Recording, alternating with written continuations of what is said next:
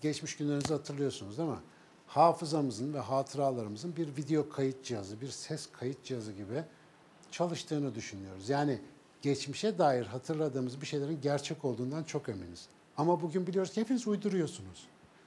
Uyduruyorsunuz ve her hatırayı defaatle hatırladığınız o hatıra değişiyor. Çünkü biz hiçbir şeyi video kayıt gibi, ses kaydı gibi, görüntü kaydı gibi kaydetmiyoruz. Sadece belli duygular ve belli doneler var. Her hatırladığımızda onları değiştir değiştir servis et. Şey oldu mu daha önce başınıza gelmiştir açık söyleyeyim. Böyle geçmişten bir şey anlatırken biraz abartırsınız. Sonra abartı devam eder. Bir süre sonra inanırsınız. Vallahi öyle oldu. Ben bir kere bir arkadaşıma bir konu anlattım. Özel bir mevzuydu ama kendi hayatımla ilgili bir anekdot anlattım. Sonra bu arkadaşla bir buçuk sene görüşmedik biz. Şimdi muhtemelen izliyorsan anlayacak kim olduğunu. Bir buçuk sene sonra benim anlattığım anekdotun aynısını isimler ve yerler dahil olmak üzere beş kat abartılmış versiyonunu kendi başından geçmiş olarak bir başka arkadaşa anlatıyor. Ben orada oturuyorum. Tabii hani böyle bir İngilizce'de cringe dedikleri bir durum. Böyle bir kalıyorsun yani. Ne yapacağını da bilemiyorum. Be- Benim hatıram yani biliyorum. Ama ne kadar hoşuna gitti ve ne kadar anlattıysa onda artık yerleşmiş. Dolayısıyla bizim böyle bir kayıt sistemimiz yok. Bir başka nöromitimiz. Biraz önce söylemiştim. Beyin hasarlarından geri dönüş yoktur diye bir nöromit çıktı buradan. Beyin hücreleri yenilenmez diyorduk ya. Bu neye sebep oldu biliyor musunuz? Beyin inmesi geçiren hastalar 50-60 yaşın üstündeyse doğru dürüst tedavi almıyorlardı. Gitti gider. Yani artık beyni hasar gördü bundan bir şey olmaz diye. Ama bu insanları şimdi fizik tedavi gibi, nöroterapi gibi çeşitli tekniklerden geçirerek mucizevi iyileşmeler sağlayabiliyoruz. Ne değişti? Bu kitabi bilginin doğru olmadığını öğrendik. Bir başkası, bu beni çok ilgilendiriyor.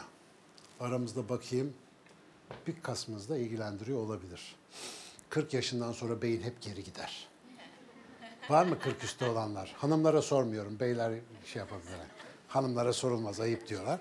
Şimdi 40 üstü, 40 böyle bir olgunluk yaşı falan çağrıştırıyor. Bir kere yani bilim sayıyla çalışmıyor. Vücut sayılardan falan anlamaz.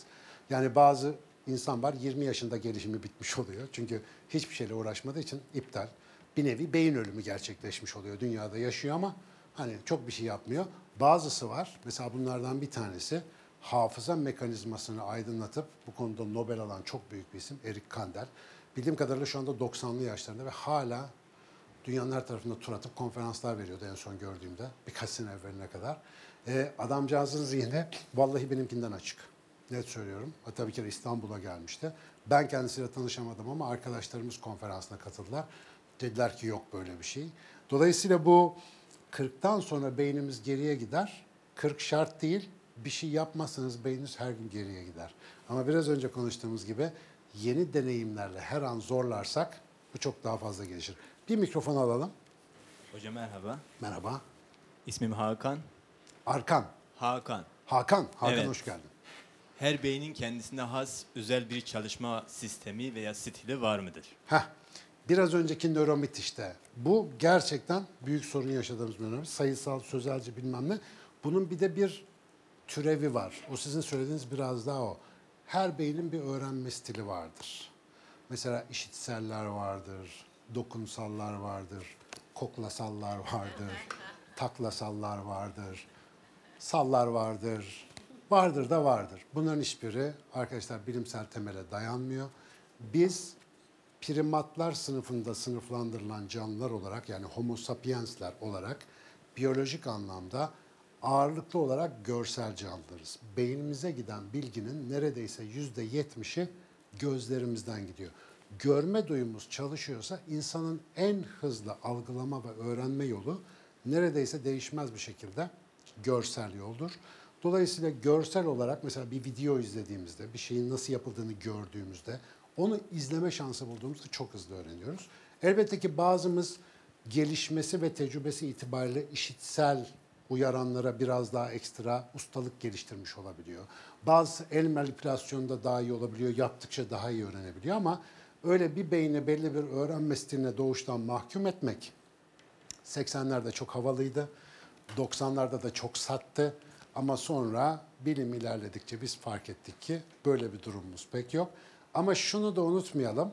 Ben mesela bütün ömrümü şu ana kadar olan kısmını işte bilimle uğraşarak geçirdim. Hep okudum yazdım. Allah'tan biraz acık edebiyata bilmem neye, işte biraz müziğe merakımız oldu da oradan böyle tek yönlü olmaktan biraz kurtulmak nasip olduysa onlar oralardan geldi. Fakat mesela bu yaştan sonra sıfırdan şimdiye kadar hiç uğraşmadığım bir şeyle uğraşmaya kalkarsam yaparım gene. Yeterince istersem. Ama biraz sürtünme yaşayacağım aşikar çünkü getirdiğimiz bir şeyler var. Bence kuvvetli tarafınıza yatırım yapmak her zaman daha mantıklı. Sürekli olarak bir sabah gözünü açıp ben şimdi bambaşka bir şey yapacağım falan diye dirilen arkadaşlar oluyor. Onu çok önermiyoruz. Ne getirdiyseniz onun üzerine bir şeyler inşa etmek daha mantıklı. Bir mikrofon alalım. İsmim Harun.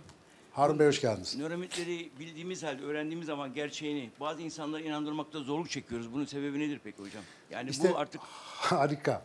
Şimdi bak biraz önce yüzde onda ne konuştuk? Yüzdesi bizim umurumuzda değil ki. O atıl kapasite fikri çok hoşumuza gidiyor.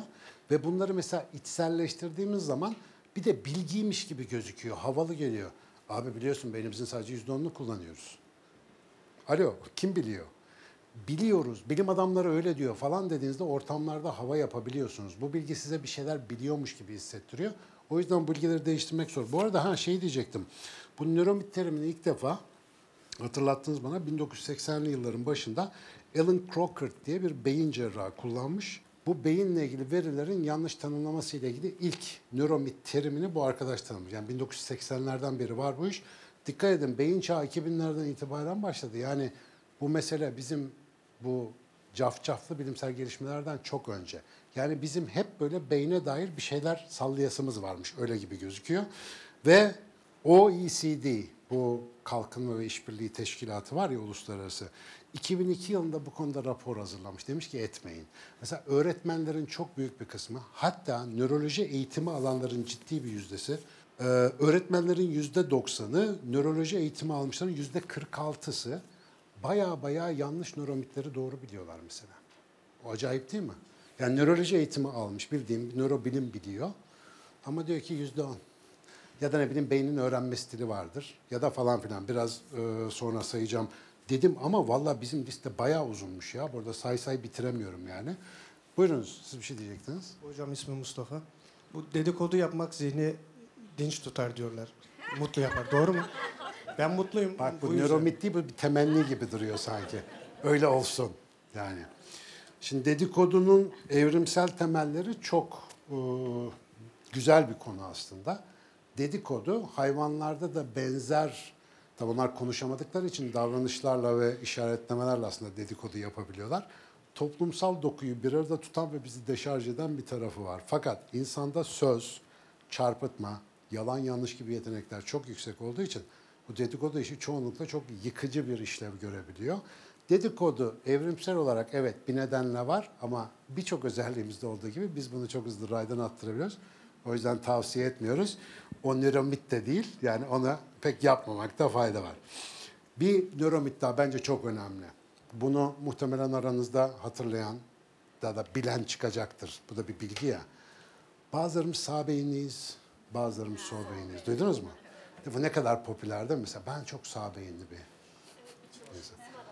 Ben sol beyin. Mesela mühendisim dolayısıyla ben sol beyinliyim. Arkadaşlar böyle bir şey yok. Sadece sağ ve sadece sol beyinli olan sadece kimler biliyor musunuz? Mesela sağ beyine felç gelmiş olanlar. Onlar sadece sol beyni. Bu da hiç iyi bir şey değil. Ya da tam tersi. Sol beyine felç gelip sadece sağ beyni kullananlar. Jill Bolte Taylor diye birisinin ismini duydunuz mu?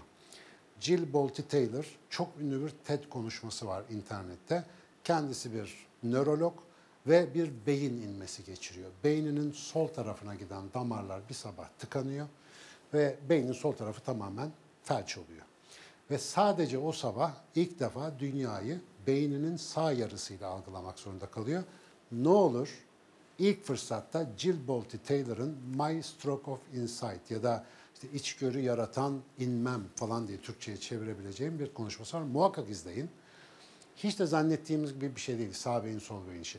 Sağ ve sol beyin aralarında bir görev paylaşımı yapıyorlar.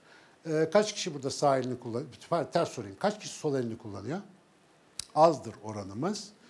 Çoğumuz niye sağ elimizi kullanırız? Beynin sol tarafı el hareketlerini kontrolde daha mahir olduğu için yazı yazma gibi, kavanoz açma gibi işleri çoğumuz bu elimizle yaparız. Sol elini kullananlarda da tam tersi, öbür taraf daha baskın.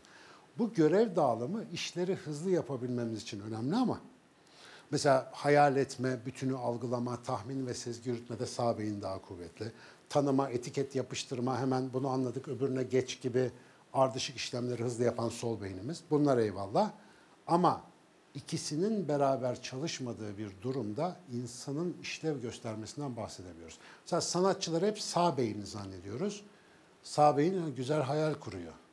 İyi de o fırçayı alıp tuvale sürmeyi beceren sol beyin olmasa nasıl yapacak o resmi? Mümkün değil.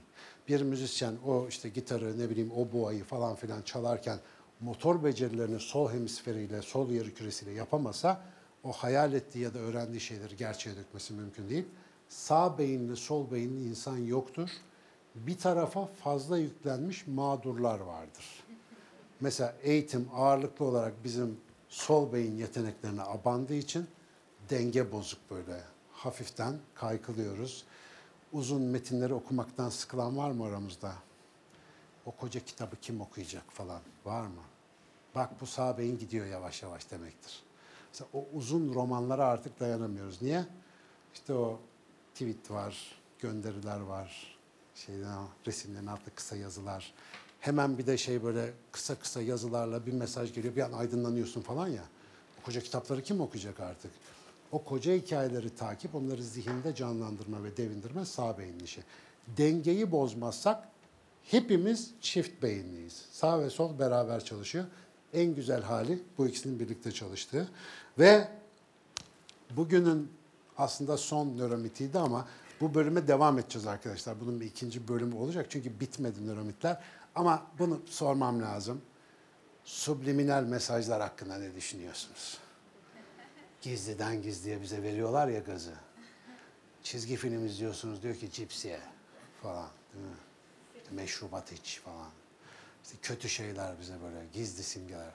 Arkadaşlar bilimsel olarak gösterilebilmiş hiçbir etkisi yoktur subliminal mesaj dediğimiz şeylerin.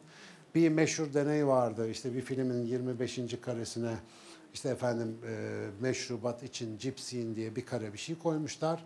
Cips satışları işte o meşrubat satışları artmış diye bir efsane var. Daha sonra sinema sa- salonunun sahibi ben bunu uydurdum dedi. Fakat haber dünyada o kadar yayıldı ki kimse adamı duymadı. Çünkü çok hoşumuza gitti. Göremediğimiz kare bizi etkiliyor. Ya basit bir şey var. Gözünü kırpsan o sırada ne olacak? Yani saniyenin 25'te birinden bahsediyorum. Bu biraz böyle bizim çaresizliğimize oynayan, bak görüyor mu adamlar bize neler ediyorlar dememize ve evde uğunmamıza sebep olan bilgi tiplerinden biri. Hiçbir gerçekliği yok. Eğer gerçekten bizi yönlendirecek bir mesaj arıyorsanız, herhangi bir filmde bayılarak izlediğimiz aktör ya da aktristin elinde göstere göstere içtiği içeceğe, üzerine giydiği kıyafete, efendim ya karşı cinse ya kendi cinsine nasıl davrandığına, insanlara nasıl muamele ettiğine, senaryoda ona ne söylettirildiğine bakın. Biz bu mesajları çok daha kolay yutuyoruz ve hiç fark etmiyoruz.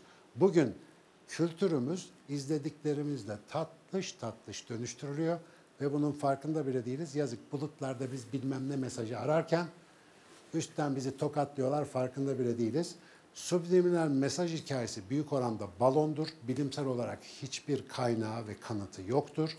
Aşikar olan mesajları görmeyelim diye bizi belki de bu yemlerle oyalıyorlardır. Kim bilir? Bence bunlara karşı dikkatli olmak lazım.